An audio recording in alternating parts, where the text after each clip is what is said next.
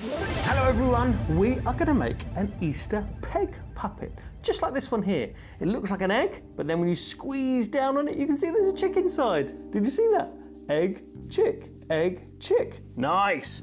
To do this, you are going to need a wooden clothes peg, which you should have got in your Easter activity pack. You're going to need a pair of scissors, and you are going to need some glue or some double-sided sticky tape, like I'm using here.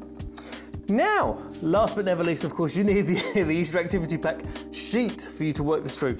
We've given you two designs. You can use these two different coloured ones, or you can have fun designing your own egg. And we've also given you some chicks and some T-Rexes to put inside them, depending on which you prefer. So I'm gonna go ahead and cut out my egg. Here we go. Snip, snip. I like to cut out the whole egg first, roughly, and then do the detailed cutting. That way, I find I can do it a little bit neater.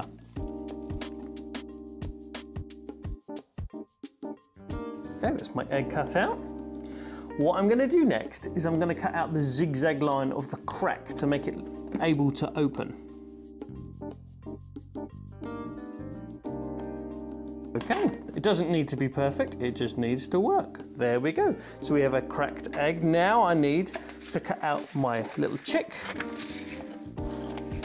Hello there, little chick. Let's cut him out roughly first and then cut it in detailed after. Go around the outside.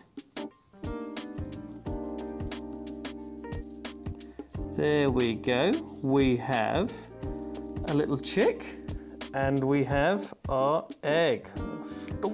There we are. They're all ready to go then. Now, I need to cut myself some strips of sticky tape or you need to get your glue ready to attach the egg and the chick to the clip.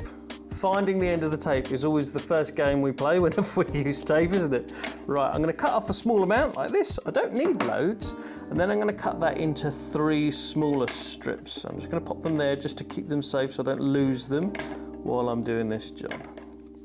I've actually, even though I didn't cut much there, did you see? I've still got too many. I'm to save one of those for later. That one. I'll keep that down there for later. Now, here is where I'm... Let's show you with this one first. Can you see how on this one that I've already made, uh, the egg is attached to the front of the paper of the um, clothes peg and the chick is attached to the back of it. That way, when it opens, it looks like he's hiding inside. Can you see? So let's do that, shall we? On the front of our clothes peg, I'm going to attach this double-sided tape.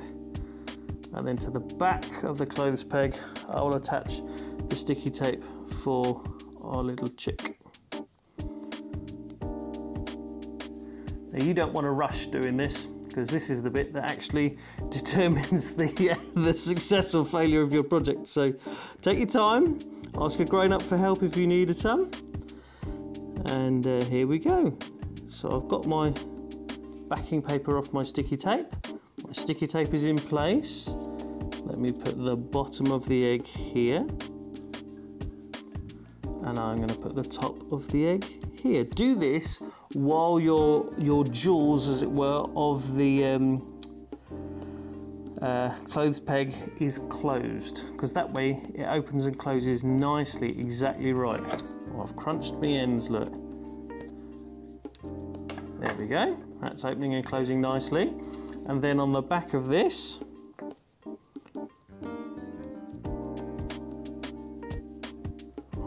Hide our tiny chick. Now, careful not to have him too high because the clothes peg doesn't open very much, so you can get an idea of where you need to be able to display him so that he can still be seen when the jaws of the paperclip are open. Okay, I really have crunched the end of my egg there. Sorry egg. Can just encourage those back forwards again. And now look, I have got an egg which opens and closes and has a little chick inside. So you could make yours with a chick or you can make yours with a little tiny T-Rex. You could put any animal that is born out of an egg inside your egg. So have a go at decorating an egg for yourself and maybe even design your own character to go inside it. Then if you want to send us a photo of what you've done, we'd love to see it. You could just send it to children at kingdomfaith.com. Hey, have loads of fun making your Easter peg puppets. And I pray that over Easter, God's grace and his peace would be with you. Hope to see you again soon. Bye.